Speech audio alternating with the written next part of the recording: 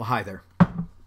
I am going to begin my discussion of this book right here Jesus and the Eyewitnesses by Richard Bauckham. So let's get into it. Um, one of the things that I look for first when I am beginning reading these uh, books of Christian apologetics is a uh, an idea of who they are writing the book for. Um, Richard Bauckham doesn't really say, at least in the first chapter, there, there's no introduction to this book. He just, you know, jumps right into it. Uh, so it's hard for me to tell who the intended audience is.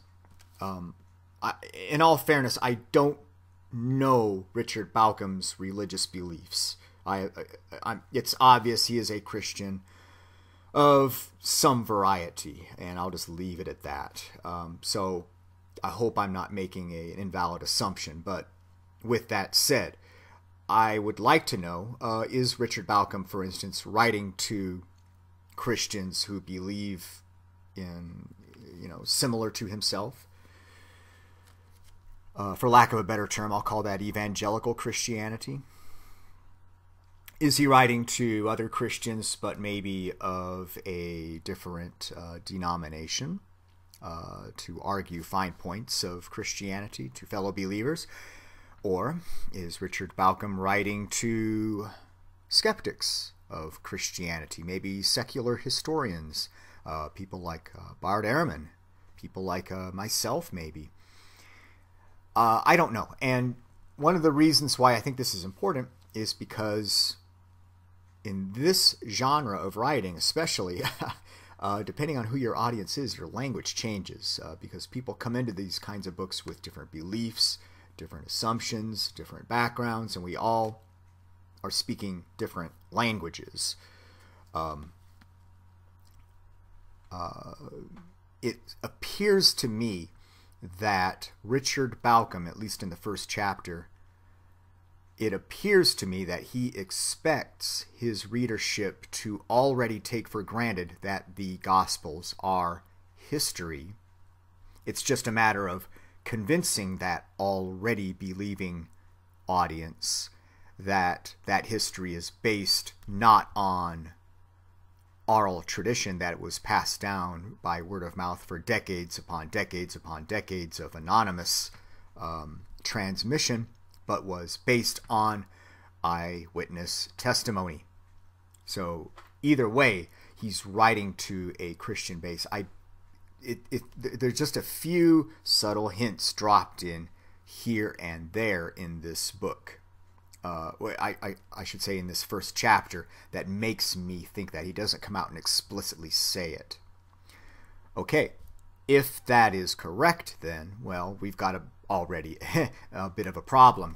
You see, Köstenberger and Kruger and others uh, who are so disappointed at Bart Ehrman for not engaging with the arguments of Richard Bauckham, um, to me, appear to think that Bart Ehrman should engage with the arguments presented by Richard Bauckham.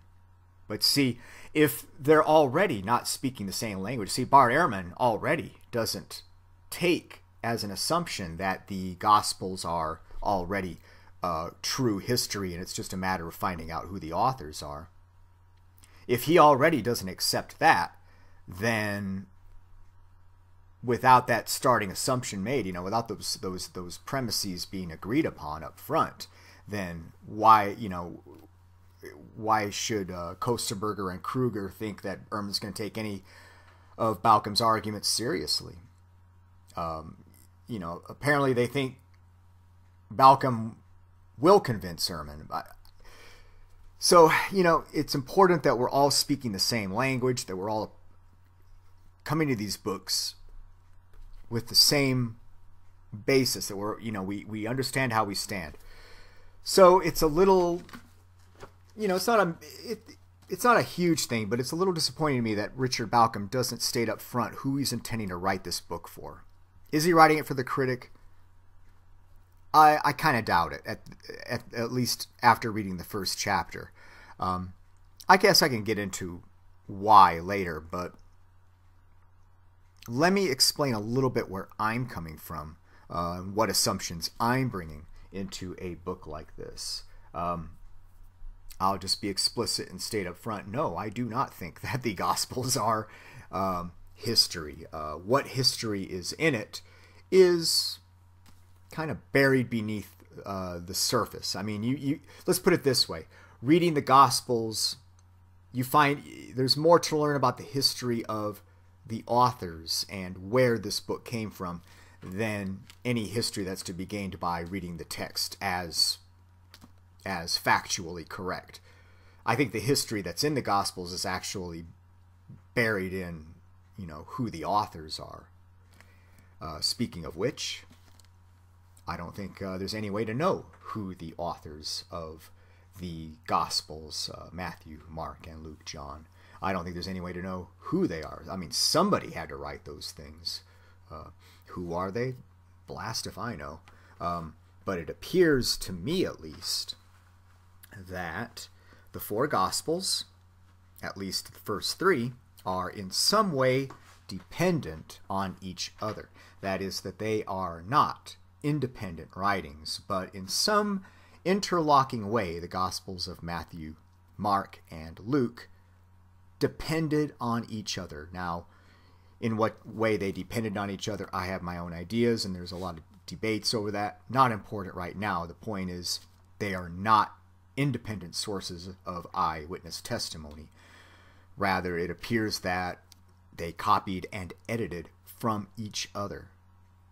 So they're not relying on eyewitnesses. They're looking at, at, at literary texts. They're looking at gospels and rewriting their own gospels based on those. At least that's the way it appears to me, and that's how I am approaching this uh, this uh, this book. Um, what else should I say? Okay, so when I was a Christian, um, long time ago, um, yeah, I took it for granted that the Gospels, Matthew, Mark, Luke, and John, I took it for granted that, of course, they were history and that everything that they uh, said about the life and events of Jesus was historically and factually correct. No problem. Did I think it was based on eyewitness testimony? Well, you bet I did, because Pastor Skip of Calvary Chapel told me they were based on eyewitness testimony. So, you know, in my mind, I would think, well, Matthew wrote the Gospel of Matthew. Matthew was a uh, disciple of Jesus, so of course he was present at the events that were spoken of uh, in his gospel. Now, what about things like where he where the where the disciple or the apostle Matthew was not present? What about let's say the birth of Jesus or the nativity? Um, you know, Matthew wasn't there. How did he know about that?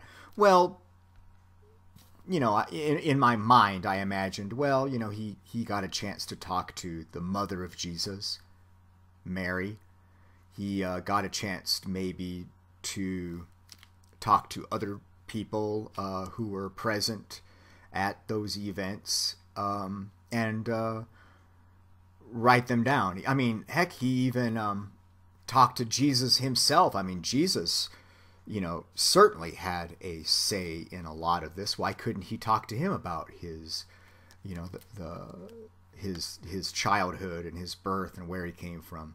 And then write it down. I mean, if anybody would know, Jesus would know, right? So, so Matthew wrote all this stuff down based on that type of eyewitness testimony. I didn't put a heck of a lot of thought into it. I mean, that certainly made sense to me. He's writing about a man named Jesus. Where does he get his information from? Ah, he gets it from Jesus. You know, I mean, what's the problem?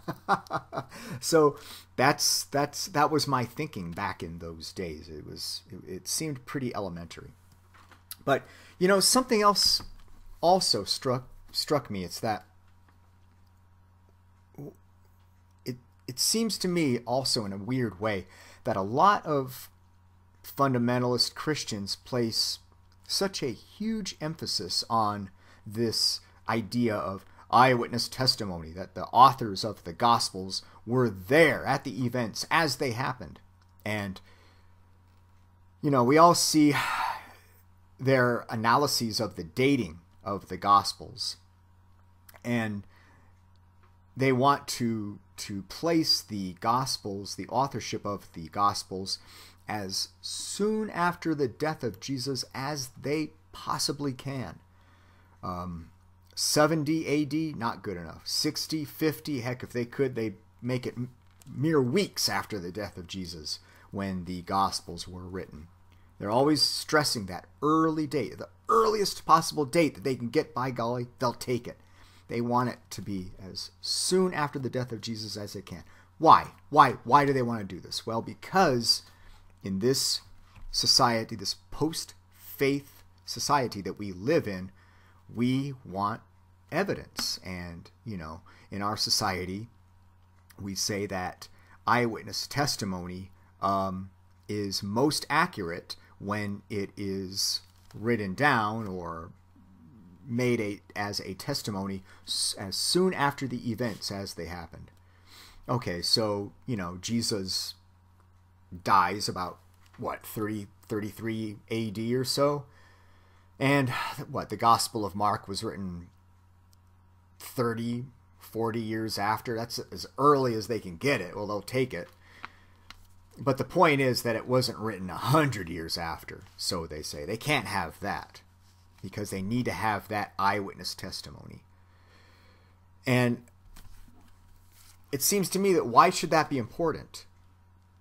I mean, the Gospels are, are, are divinely inspired. If they're divinely inspired, what does it matter when they were written or by who.